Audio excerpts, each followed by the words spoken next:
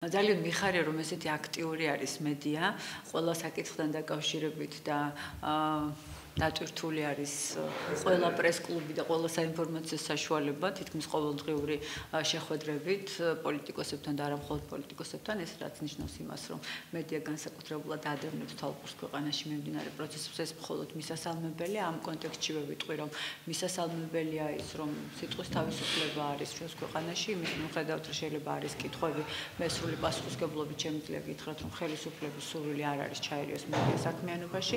ერთადერთი სურვილი რაც არის, უნდა იყოს წესრიგი, ჩემი პირადად უნდა იყოს მედიაში წესრიგი, რომ ქაოსმა არ გამოიწვიოს და არ შეიწიროს ჩვენი თავარი მონოპოვარი სიტყვის თავისუფლება, რომელიც აშკარად არის მონოპოვარი და რომელსაც ჩვენ ყველამ ბევრი გავაკეთეთ, განსაკუთრებით თქვენ მედია საშუალებების წარმომადგენლებმა, იმიტომ რომ მე ის მძიმე წლები მახსოვს, როდესაც თითოეული თქვენგანი ალბათ იბრძოდა იმისთვის, რომ შეენარჩუნები ამ ქვეყანაში ამ ინსტიტუტის მდგრადობა, რაც იქნებოდა იმის გარანტია, რომ სხვა დანარჩენი დემოკრატიული ინსტიტუტებიც მეტნაკლებად განვითარდებოდა. რჩება ნაციონალური მოძრაობის მოთხოვნას ვარდანთან საპარლამენტო არჩევნებთან დაკავშირებით თქვენი პოზიცია როგორი გადააჭრა? აა ნაციონალური მოძრაობა მაშინაც იყო მარტო, როდესაც იყო ხელისუფლებაში.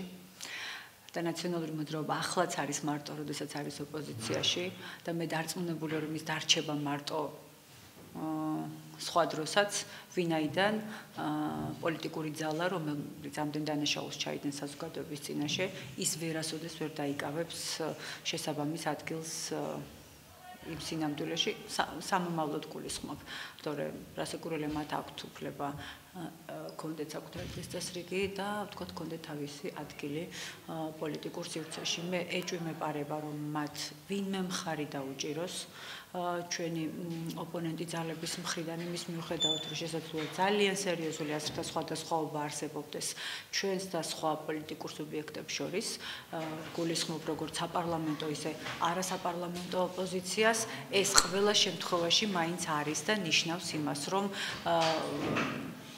ყველამ კარგად იცის, რას ნიშნავს იმ უმძიმესი პოლიტიკური გადაწყვეტილების მიღება რაიმე ფორმით ითანამშრომლო ნაციონალურ მოძრაობასთან. მე ჩემი შეხსენება ალბათ არავის არ დასჭირდება, იმიტომ რომ საკმაოდ გონიერი ადამიანები არიან დანარჩენ პოლიტიკურ პოლიტიკურ სუბიექტებში, პოლიტიკურ პარტიებში, მაგრამ ჩემთვის პირადად ნაციონალურ მოძრაობასთან თანამშრომლობა ნიშნავს გაიკეთო მომაკვდინებელი პოლიტიკური ხარაკირი და ვერასოდეს ვეღარ გქონდეს პრეტენზია იმის, რომ ხარ სრულფასოვანი პოლიტიკური სუბიექტი და გაქვს იმის უფლება, რომ დარჩე პოლიტიკურ პროცესებში. თუმცა ყოველას თავის არჩევანი აქვს. მე ასევე წარმატებებს უსურვებ ნაციონალურ მოძრაობას. არ ვიცი რა სიზამენ, მაგრამ აქვე მინდა გითხრათ, რომ მათი მოთხოვნა აბსოლუტურად უსაფუძვლოა. თქვენ იცით, რომ ვადამდელ საპარლამენტო არჩევნებს თავის საკონსტიტუციო მოთხოვნები აქვს. არც ერთი ეს მოთხოვნა დღეს-დღის წესრიგში არ დგას, რაც და გარდა ამის არანაირი პოლიტიკური კრიზისი ქვეყანაში არ არის. იმის მიუხედავად, რომ ბევრი პრობლემა არის და შესაძლოა მოსახლეობა იმაზე მეც სითხოს ვიდრე ჩვენ ვაკეთებთ, მე ვერ ხედავ ვერანაირ წინაპირობას იმის, რომ დღეს წესრიგში დადგეს ვადამდელი საპარლამენტო არჩევნების საკითხი. მე ურჩევდი ნაციონალურ მოძრაობას ვადამდელ საპარლამენტო არჩევნებს დავიდანებონ და მოემზადონ 2016 წლის არჩევნებისთვის. იმიტომ რომ მე ვფიქრობ, რომ ეს იქნება ერთ-ერთი ყველაზე მნიშვნელოვანი არჩევნები, არჩევნები, რომელიც ჩატარდება და დარწმუნებული ვარ რომ ვერავინ ვერ გაბედავს და ვერ არ არავის არ წაძლევს სული რომ რაიმე ფორმით გაყავდეს ეს არჩევნები, ვინაიდან დარწმუნებული ვარ, რომ ამ არჩევნების მიმართ ინტერესი დანარჩენი საერთაშორისო საზოგადოების მხრიდან ძალიან მაღალი იქნება და ასევე დარწმუნებული ვარ, რომ არც ხელისუფლებას არ სურს ყველა ის ყველა ის დემოკრატიული შედეგი, რომელიც საქართველოში ბოლო წლების განმავლობაში ჩატარებულ არჩევნებს უკავშირდება, გადაიფაროს რაიმე გადაცდომებით. ასე რომ წინ არის ძალიან მნიშვნელოვანი ეტაპი, ვფიქრობ, რომ არჩევნებისთვის მზადება უკვე დაწყებულია და მე დარწმუნებული ვარ, რომ თითოეული პოლიტიკური სუბიექტი სწორად წარმართული პოლიტიკური პროცესის პირობებში, საარჩევნო პროცესის პირობებში შეძლებს შეძლებს შესაბამისი შედეგის მიღებას. ეს ძალიან მნიშვნელოვანია ჩვენი ქვეყნისთვის.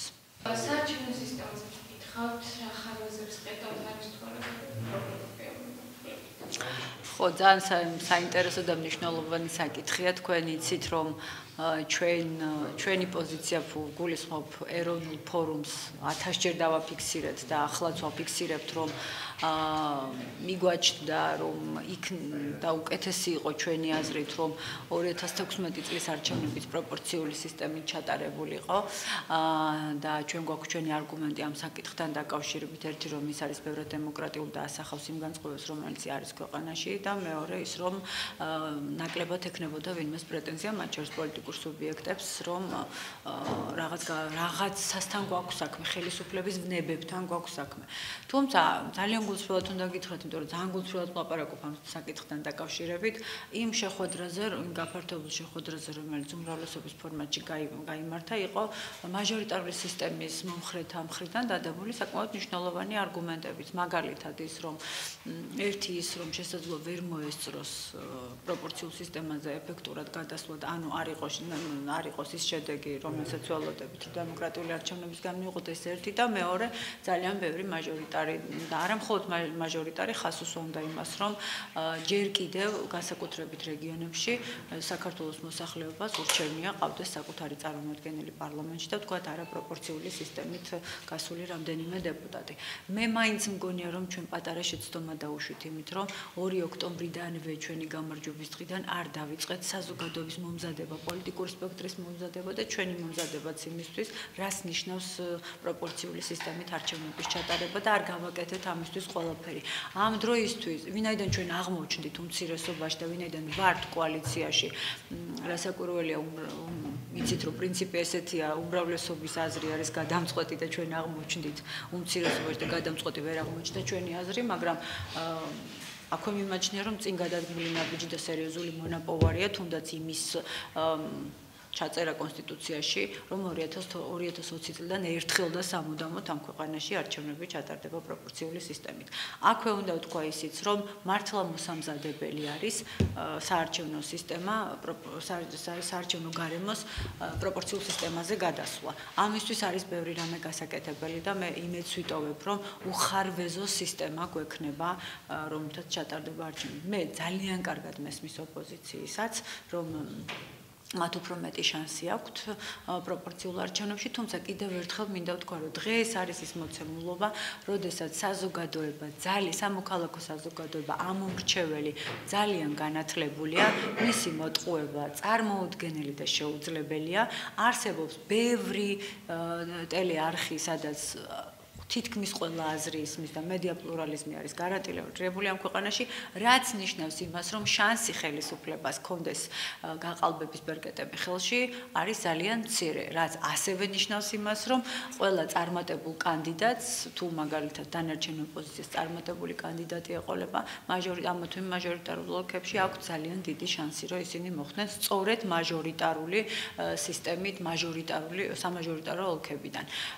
ამას გარდა თქვენ თქვენ იცით რომ ჩვენ მივიღეთ გადაწყვეტილება რომ 50%-იანი ბარიერი იქნება არჩევ იმისთვის რომ მაჟორიტარი მოხდეს პარლამენტში ეს არ არის დაბალი ციფრი ეს საკმაოდ მაღალი ციფრია და თქვენ ამის კარგი მაგალითები გაქვთ მერების და გამგებლების არჩევნებთან დაკავშირებით რომელიც 2014 წელს იყო. თქვენ იცით რომ რვა ქალაქში მე მგონი განმეორებითი ტური ჩატარდა მათ შორის თბილისში.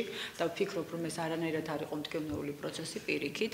ასე რომ შანსი იმის რომ წარმატებულ კან კანდიდატებს აქვთ შესაძლებლობა დაამარცხონ სახელმწიფო კანდიდატები არის ძალიან მაღალი.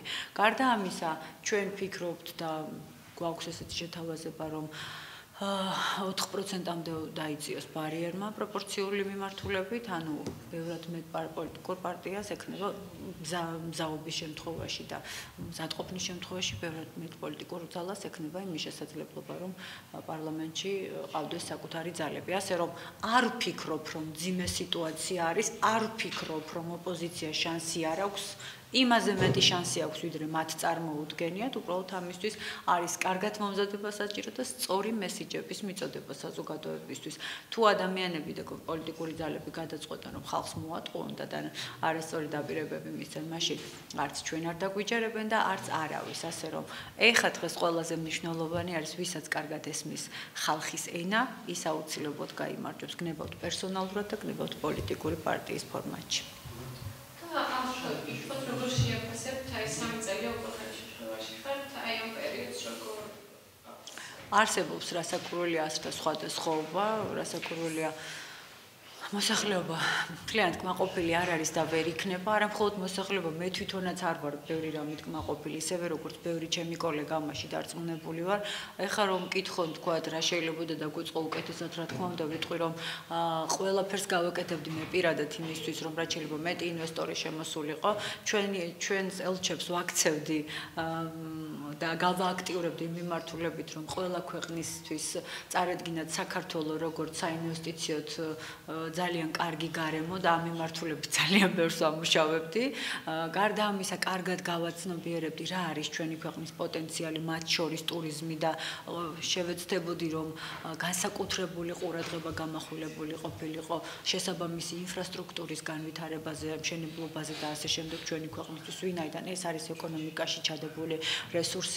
ასევე კარგად გავიაზრებდით და მე მგონი მაინც არის გააზრებული ის რეგიონალური ფუნქცია, რომელიც ჩვენს ქვეყანას აქვს და მათ შორის ეკონომიკურ ჭრილშიც, თუმცა კიდევ ერთხელ მინდა ვთქვა, რომ თქვა რომ მონოპოვარი რასაკვირველი არის ის, რომ ყველა დემოკრატიული ინსტიტუტი ვითარდება, არსებობს დღეს გარკვეული ხარვეზები, მაგრამ დამიჯერეთ და დამერწმუნეთ, რომ ეს სახელმწიფოსგან დამოუკიდებლად მიმდინარეობს. მე პირადად ცალსახად შემიძლია გითხრათ, რომ მაგალითად იგივე რუსთავიერთან დაკავშირებით მქონდა ძალიან ბევრი კონსულტაცია, სხვათა შორის საკმაოდ მაღალ დონეზე და იქ იქ არ არის ამის სურვილი, რომ ვინმე ჩაერიოს მედიის თავისუფლებაში და დამოუკიდებლობაში ხა. სხვა საკითხია რომ არსებობს პრობლემა. რა თქმა უნდა პრობლემა რო არსებობს ეს მეც მაწუხებს ისევე როგორც დანარჩენ დანარჩენ საზოგადოებას მაგრამ თუ კარგად ჩავხედავთ ამ პრობლემას მივხედავთ მივხვდებით რომ პრობლემის სათავე არ იწყება ახლა. პრობლემის სათავე არის ბევრი წლის წინ ჩადებული რომელიც ალბათ დარწმუნებული ვარ თვითონ რუსთავის წარმომადგენლებმაც კარგად იციან რომ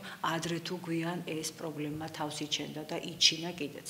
ამიტომ მე იმეც ვიტოვებ რომ ეს პროცესები დასრულდება იმით რომ არც ერთ შემთხვევაში მეტის თავისუფლებას არ დაემუქრება საფრთხის თავი არის წარმატებული ტელეკომპანია მათ აქვს შესაძლებლობა საკუთარ თავში გააკეთონ მობილიზება საკუთარი რესურსის და დარჩნენ ერთ-ერთ ყველაზე მნიშვნელოვან საინფორმაციო საშუალებად. იმის მიუხედავად როგორ დასრულდება წილების გადანაწილების ამბავი ამ ქვეყანაში ეს ერთი საკითხი და მეორე ჩემი გულწრფელი რჩევა არის მედიის რუსთავის წარმომადგენლების მხრიდან რომ მაქსიმალურად მოიშორონ ის ადამიანები ვინც ცდილობენ თემის პოლიტიზირებას ეს მხოლოდ დააზარალებს ერთი ამ პროცესს და მეორე მედიის თავისუფლებას ზოგადად და ქართული მედიის იმიჯს.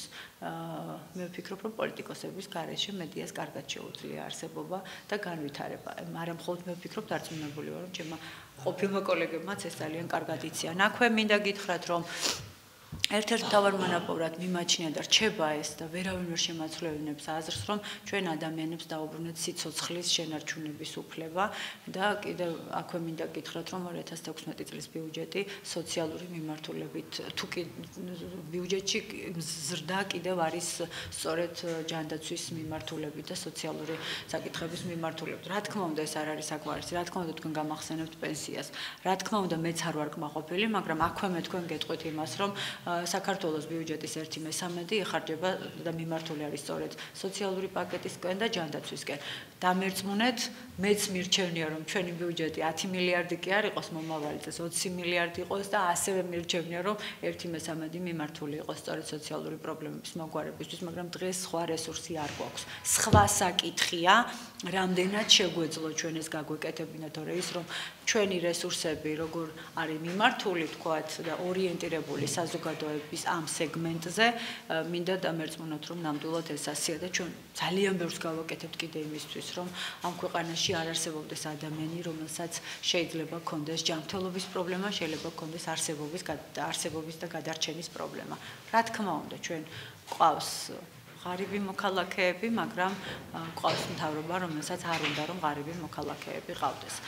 აქვე რასაკვირველია ჩემთვის ძალიან მნიშვნელოვანი არის რომ და მე ვიცი ძალიან ბევრი ოჯახი რომელიც წლების განმავლობაში ვერ ახერხებდა ხოლმე ბავშვებისთვის სახელმძღვანელოების შეძენას. შესაძლოა ჩვენ ბავშვებს თქვათ ახალი სახელმძღვანელოები არ აქვს, მაგრამ თავარი ის არის რომ ყველა ბავშვს აქვს სახელმძღვანელო და ყველა ბავშვს აქვს შესაძლებლობა რომ ისწავლოს. და მიმაჩნია და ჩვენი ყველაზე მთავარი პრიორიტეტი სწორედ არის ის რომ რაც შეიძლება მეტი რესურსი ჩაიდოს განათლებაში. ამ მიმართულებითაც 2016 წლის ბიუჯეტში მატება არის სწორედ განათლების სამინისტროს მიმართულებით, სადაც გათვალისწინებული არის ანუ ამ მატებიდან ნაწილი პედაგოგების ხელფასების მატებაზე და ნაწილი უკვე სხვადასხვა მიმართულებით, მათ შორის ინფრასტრუქტურული პროექტების, რომელიც ხელს შეუწყობს ბავშვებისთვის განათლების ეფექტურად მიცემას. ვინაიდან ჩვენ თუ დღეს ახლა ყველაზე მეტად რაიმე გვჭირდება, რომ სამომავლოდ ეს შედეგი დავინახოთ, არის ის, რომ რაც შეიძლება მეტი განათლებული ადამიანი გამოვიდნენ გამოვიდეს სკოლის კედლებიდან და გამოვიდეს უმაღლესი სასწავლებლების კედლებიდან, ვინაიდან გულწრფელად რო ვთქვა და ჩვენ ყველა მას კარგად ვიცით, ყველაზე მნიშვნელოვანი საკითხი, რომელიც დღეს ჭირდება ჩვენს ქვეყანას და ცოტა დეფიციტი არის, ეს არის შესაბამისი კადრების არარსებობა. განათლებული და შესაძლოა მიმართულებით ნიშნულოვანი განათლების მქონე კადრების არარსებობა და ნაკლებობა უბრალოდ არარსებობა არ ნაკლებ. მე იმედი მაქვს რომ ეს პრობლემა ცოტა ხანში აღარ გვექნება. რაც შეეხება ეკონომიკურ მიმართულებას თქვენ რომ არ შემახსენოთ მე მაინც გეტყვით რომ რა თქმა უნდა არის პრობლემა როდესაც ლარის კურსი ესეთი დაცემულია და მძიმე მდგომარეობა არის როგორც არ უნდა ვიმართლოთ თავი და რა თქმა უნდა არსებობს. თავის მართლების ბევრი მიზეზი რომ ბევრმა ფაქტორმა მოახდინა ზეგავლენა ამაზე ხელისუფლება იმიტომ არის ხელისუფლება რომ ეს სტაბილურობაც იყოს გარანტირებული. და აქვე კიდევ ერთი რამე შემიძლია გითხრათ რომ თუ ეხლა ჩვენ გვაქვს პრობლემა და თუ მოვახერხეთ ის რომ დავაბალანსეთ და ეკონომიკაში ჩაიდო შესაძლებელი რესურსი რისი შესაძლებლობაც არის იმიტომ რომ მე არ დავაანონსებ არ ვარ ამ დარგი სპეციალისტი მაგრამ რაც მაქვს ინფორმაცია არსებობს უკვე საკმაოდ სერიოზული ციფრები რომელიც ინვესტიციების რომელიც უნდა ჩაიდოს ქართულ ეკონომიკაში მათ შორის საუბარი არის ჩინურ ინვესტიციაზე ირანულ ინვესტიციაზე და ასე შემდეგ. მე იმედი მაქვს თუ ეს პროექტები წარმატებულად განხორციელდება? ჩვენ გვექნება რამდენიმე ხანში უმოკლეს ვადებში იმის შესაძლებლობა რომ პრობლემა და კრიზისი რომელიც რეალურად არსებობს ჩვენს ქვეყანაში წავიდა დაძლევისკენ და მე ვიქნები ძალიან კმაყოფილი ანუ სხვა მხრივ რა მოსახლეობას მინდა არ ვარ არც ერთ შემთხვევაში მოსახლეობა როდესაც არის კრიტიკული ეს არის სრულიად ბუნებრივი ასევე მედია როდესაც არის კრიტიკული ეს არის სრულიად ბუნებრივი მე არ განვეკუთვნები ადამიანებს იმ კატეგორიას რომელიც ფიქრობს რომ ან მოსახლეობაა ჩასაფრებული, ან მედია საშუალება, რომელიმე მედია საშუალება, როგორც არ უნდა ვეთანხმებოდე მის საინფორმაციო პოლიტიკას, მიმაჩნია, რომ ყველა ეს ინსტიტუტი, გულისხმობ დემოკრატიულ ინსტიტუტებს და მოსახლეობა ჩვენ გვაძლევს ერთ ყველაზე მნიშვნელოვან სტიმულს, რომ არ მოვდუნდეთ და ყველა ის პრობლემა დავინახოთ, რომელიც არის. ფაქტი არის, რომ არის ეს პრობლემები ქვეყანაში. ფაქტი არის ის, რომ ჩვენ ჩავიბარეთ საკმაოდ ძიმე მემკვიდრეობა. ფაქტი არის ის, რომ ჩვენ დაუშვით შეცდომები, მაგრამ ჩვენს ხელისუფლებას ფუნდამენტური შეცდომები არ დაუშვია. მე იმედი მაქვს, რომ ეს გაგრძელდება ასე და ამას დაემატება წინსვლა ეკონომიკაში.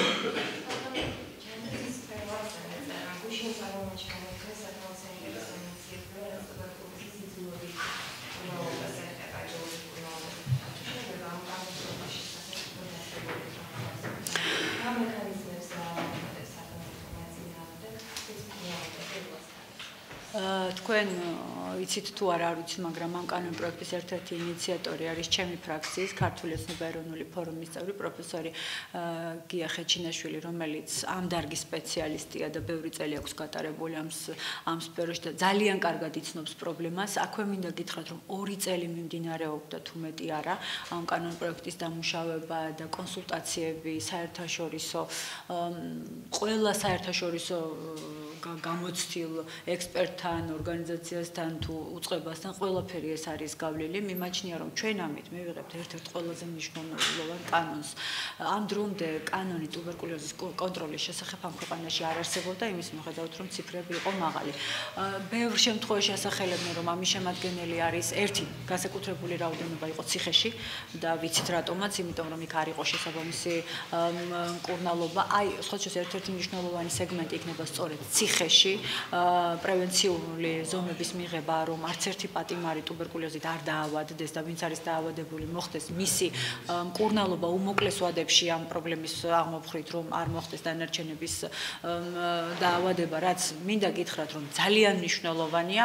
გარდა ამისა მე გამიჭირდება კონკრეტულად გითხრათ ის იძულებებით ღონისძიებები რა არის მაგრამ როდესაც დასხდნენ კანონპროექტის ინიციატორები და თქვენს რომ დიახ, იძულებითი ნაწილი უნდა ჩაიდოს ამაში ვინაიდან ეს საზოგადოების ჯანმრთელობისთვის არის პრინციპულად მნიშვნელოვანი, მოხდა ამაზე შეჯერება. სხვა საკითხია ვის რა არ უნდა, რა თავარი არის რა უნდა საზოგადოებას. ჩვენ გვჭირდება ჯანმრთელი საზოგადოება. ჯანმრთელ საზოგადოებას, ეს ჯანმრთელი საზოგადოების არსებობა გულისხმობს იმას, რომ ხშირ შემთხვევაში სახელმწიფო მიძულებითი ღონისძიებები უნდა გაატაროს. მაგალითად აცრები ხო ტარდება, ხაცრები არავისთვის არ არის სასიამოვნო პროცესი, მაგრამ ეს არის ის ერთ-ერთი მნიშვნელოვანი საკითხი, რომელიც ადამიანებს ბევრი ადამიანების განიცავს. შესაბამისად არის ტუბერკულიოზის საკითხიც. მე ვფიქრობ, რომ ამ კანონისა და ამოქმედების და კარგად ამოქმედების შემთხვევაში საკითხი ტუბერკულიოზის დაავადების შესახებ ამ ქვეყანაში მოხსნილი იქნება.